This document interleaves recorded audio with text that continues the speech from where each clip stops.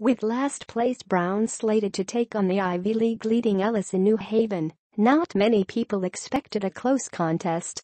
But a 34-7 final may have been even more lopsided than most predicted. After the Bears all but acknowledged their slim chances at victory by opening the game with a trick play reverse end around, Team 145 put the game away with a dominant all-around performance. I was happy with the guys and how intentional they were all week, head coach Tony Reno said. They prepared really well and were focused. We had a lull there in the second quarter, but I challenged them at halftime, and they came back out in the second half and did a really nice job of putting the game away. On Yale's second offensive play of the game, running back Zane Dudek 21 sprinted 68 yards to the end zone to give the Elis an early 6-0 lead.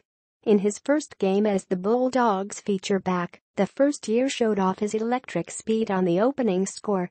Following one of nine punts by Brown in the game, the Bulldogs continued to impose their will on offense as quarterback Kurt Rawlings 20 connected with wide receiver J.P. Shohfi 20 for a 21-yard touchdown on the ensuing drive. Both players would find the end zone again later in the first half as Dudek scored on a 36-yard run and Shohfi caught an underneath route before racing 83 yards for a touchdown. With a 27-0 lead coming out of halftime, Yale kept its foot on the gas as Dudek scored his third touchdown of the night on a 7-yard carry to give the Bulldogs a 34-0 lead.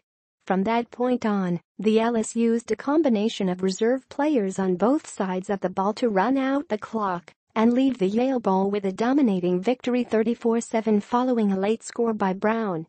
The defense kept Brown scoreless for 58 minutes of play, but finally surrendered a touchdown in the closing moments of the game with its second unit on the field. Nevertheless, Team 145's strong pass rush applied constant pressure to Brown quarterback Thomas Linta.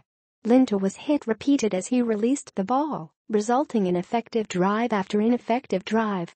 Defensive backs Jason Alessi 18 and Spencer Rymiszewski 18 also contributed an interception each to the defensive effort. With the win, Yale moves to 4-1 in the Ivy League with matchups against Princeton and Harvard left on the schedule.